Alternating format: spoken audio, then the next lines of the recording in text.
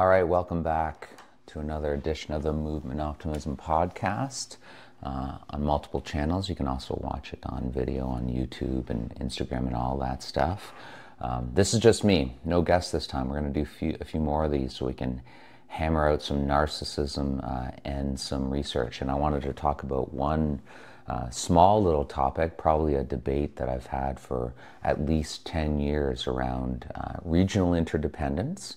Uh, which is basically the hip bone is connected to the knee bone, is connected to the foot bone. But because we're physios, we make it more complicated than that. Uh, really saying if you have a foot, your glute works. If you have a knee, your glute has to work. If you have a shoulder, it works with the elbow. You know, it, it, it's all connected here. So, you know, 20 years ago, people were advocating if you have uh, knee pain, you should probably do something at the hip. Uh, and since that time, I first read that by uh, probably Shirley Sahrmann back in like 2001, but I'm sure people were saying it uh, before that. Her impetus at the time always goes back to the kinesiopathological model, would be that if you have knee pain, you're probably having valgus or hip adduction. And the assumption there is if you have hip adduction, it'll increase the load on the knee. So what people would say is like the knee is the victim of the hip. That's that's the basic premise of uh, of regional uh, interdependence, and it led to the good idea that we should train more uh, than just at the knee when someone has knee pain, or if someone has a hamstring strain, you know, because they don't work in isolation. Of course, you're going to train the hamstrings and build them up but you could also argue that you should be training at the calf, you should be training the glutes, you should be training the spine, all those things. If someone has neck pain, you know, we wouldn't just do exercises at the neck. You could also look at the thoracic spine. So it, it, it's a good idea. Uh, it does have pragmatic uh, research behind it. Where the debate lies is around what exercises you choose uh, at a distance. And this is where I've always had these arguments, and two just uh, you know came up really recently uh, in the past uh, two two weeks. Most recently, uh, yesterday was with uh, Mark Shepard, and not much of a debate. I'm just quibbling here. They put out a, a nice paper that I like. It's a good. It's called the Patient-Centered Hypothesis Framework advancing clinical reasoning, reasoning and musculoskeletal pain management. And it's a nice paper. Frameworks are hard to do because we know that pain is complicated and complex and there's all these factors involved. And once you try to write that down, that that's hard and create a framework. And they, they actually do a, a good job of citing other frameworks. So it's it's nothing nothing really new. Um, and frameworks are sometimes helpful for people. So one of their components here is this idea of like consider regional contributors and coexisting conditions, right? And this is the idea that again, regional inter- interdependence occurs. If you have a limitation in thoracic mobility and someone has neck pain, that you should go and address that thoracic mobility. And so, what my criticism is, is that this is this idea of a false precision, right? So if someone has knee pain, you would check the hip. That's what people want to say. You got to go assess what the hip is doing, uh, and see if the glutes are weak. You know, if the glute med is weak, if they have a limitation in hip internal rotation. And the assumption there is that if there's this so-called deficit somewhere else, it's somehow relevant, and that will tell you what to do for your exercise selection for regional interdependence you know? And so it's it's it's limited in my opinion. And so and it's not surprisingly research based what i am advocating for is the belt and suspenders approach to rehab which simply says if you don't want your fan, your pants to fall down you wear belts and suspenders. You, you train comprehensively. So the reason that you would choose hip exercises when someone has knee pain is because they have knee pain and they have a hip. That's the simple argument. Because the research doesn't show that someone needs to be weak at the hip or someone needs to have a mobility deficit at the hip to, benefit from the exercises at the hip. You could also make the same case if someone has knee pain that you should be training at the foot and the calf. They don't need to be weak there. They don't need to have a lack of dorsiflexion, you know, whatever it happens to be. So the the the issue here is people don't like this because you know what people will write me is like, "Oh, Greg, okay, what's the point of doing an assessment? Why don't you just give everybody a strength and conditioning program?" And I'm like, "Well, yes. What's wrong with that?" Or the other argument, people will say, "Well, you're just going in there blind. You're just choosing exercises blindly."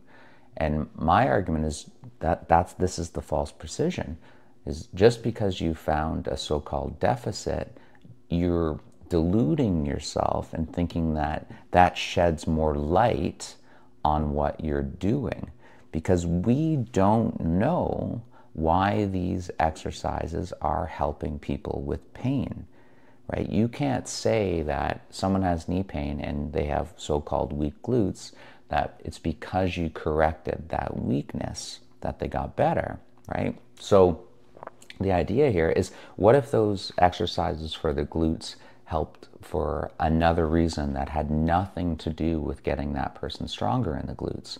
Now you could have a subset of people who don't have weak glutes, they have knee pain, and if you don't give them the hip exercises, maybe it decreases their chance of getting better, right? Because you missed out, because you thought that the reason to give the hip exercise was to correct the hip weakness, right? So that's the false precision that I'm talking about here.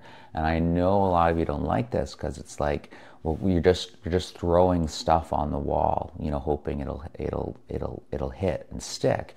And I would say the same thing with correcting deficits. You're just hoping that those things are the things that have to change, and, and we can't say that.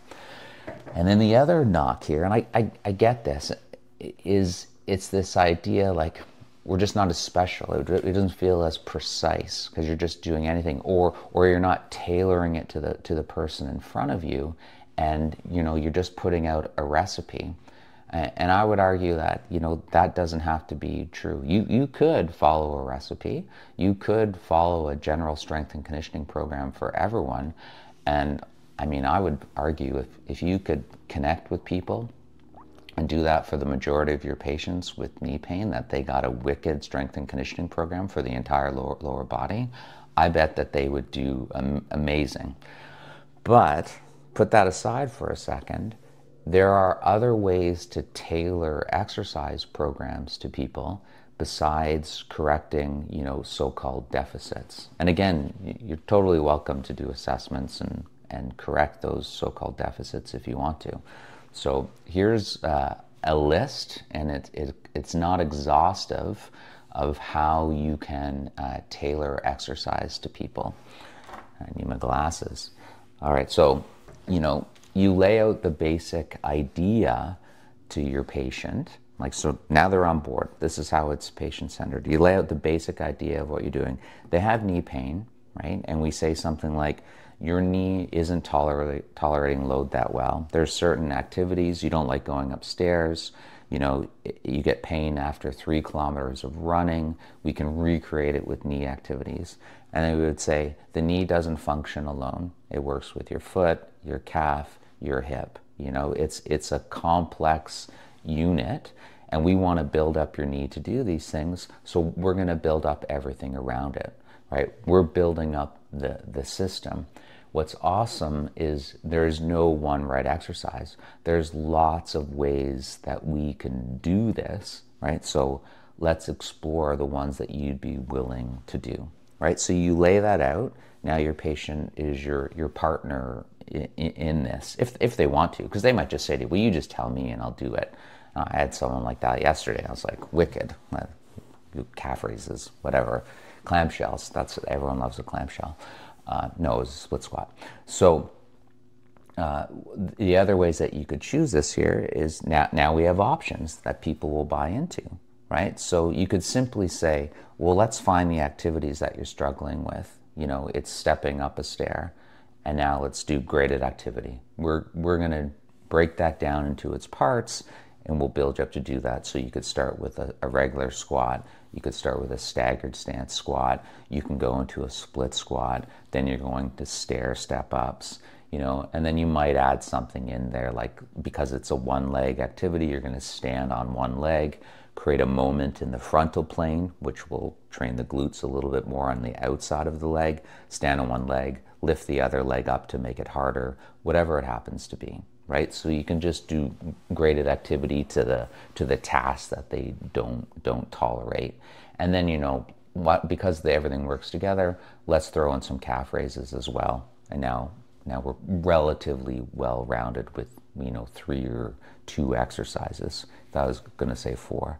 Uh, or you use something like, well, you know, what equipment do you have access to? We want to work your hips, your knee, your foot. And they tell you the gym they go to, and they say I really like machines. I don't I don't like free weights. When I did stuff before, I like machines. I can do it. Done. You know, you get a leg press machine. You get a leg abduction machine, right? We we train heavy there. Or they say, I, I, I don't really care what exercises I do, I just want to be a faster runner. So here, now you're tailoring the exercises to performance based goals and you, then you look at the performance literature and running. And so, what tends to work? Heavy resistance training, you know, basic compound exercises like the split squat, because that's going to get all of your glute muscles, it's going to get your quads.